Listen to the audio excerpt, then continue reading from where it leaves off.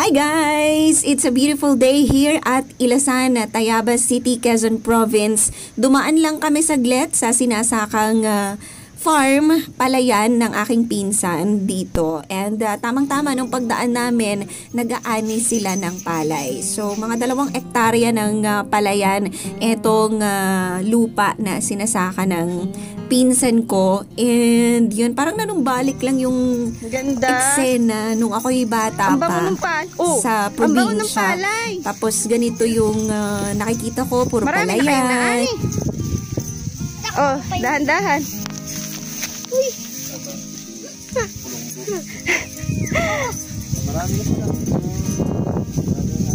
Oh, dahan-dahan. Walang ahas dito, kuya.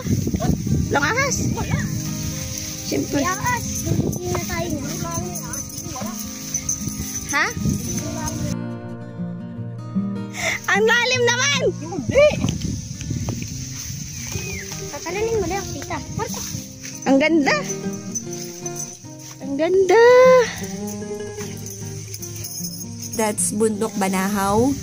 Nandito kami sa Ilasan. Nasa Pilapil. Diba?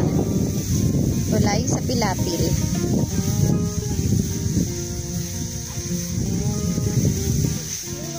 Ana, ito na inani nilang palay. Hektarya tong ano mo, palayan? Ilang I hektarya? love the smell. Iba talaga yung amoy ng farm. Yung din. amoy ng bukid, talagang fresh Hindi. air, tapos ang bango pa ng palay. Tapos syempre, hindi nakuna ng video na makailang beses akong nahulog sa pilapil.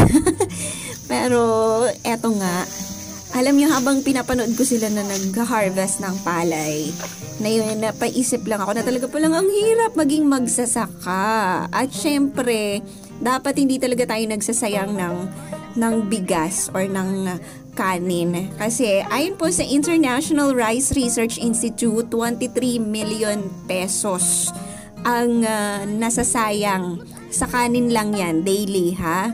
Nasasayang na kanin nagkakahalaga ng thir- 23 million pesos every day. Yan po ay sapat na para makapagpakain ng 4.3 million individuals. And imagine mo ganito yung ah, sakripisyo na dinadanas ng mga magsasaka tapos medyo babaratin lang sila sa presyo ng palay nila. And of course, 'di ba? Sasayangin lang yung ah, isasaing na bigas. That's a no no no.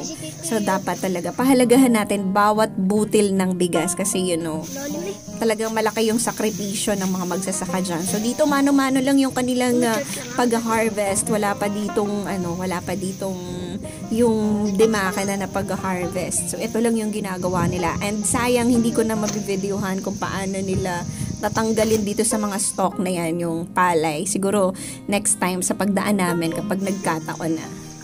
Nagtatanggal sila ng palay sa eto dito sa mga tangkay na yan.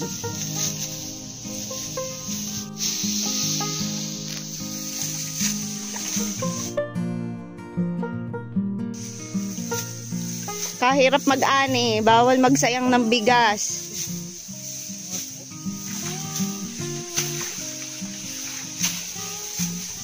Magkano kilo ng palay? Pag pinagbili? 17. Tapos pag pinagbili ang bigas, 40, 50. Magmamahal pa nga daw po eh.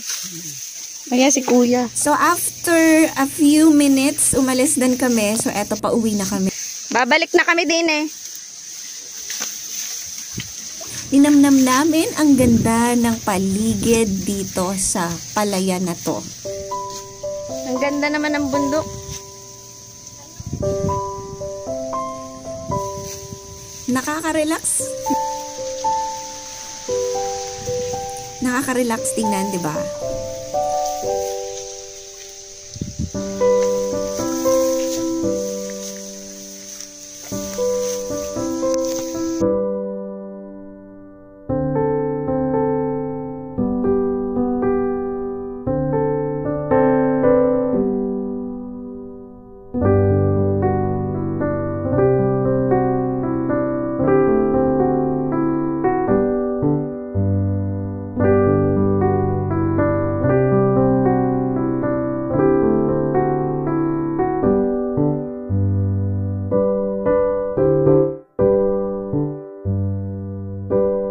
For watching. Stay safe.